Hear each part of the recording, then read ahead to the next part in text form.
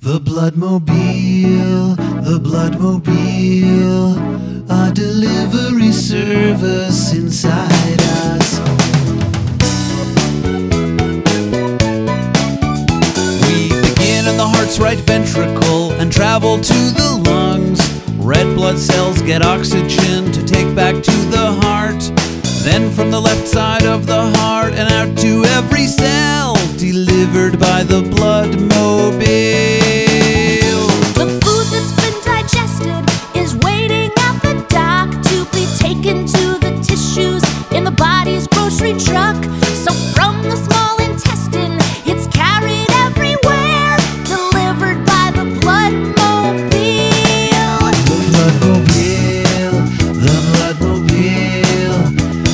Delivery service inside us.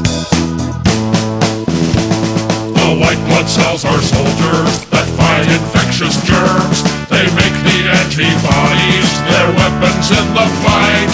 The army is transported wherever they must go, delivered by the bloodmobile.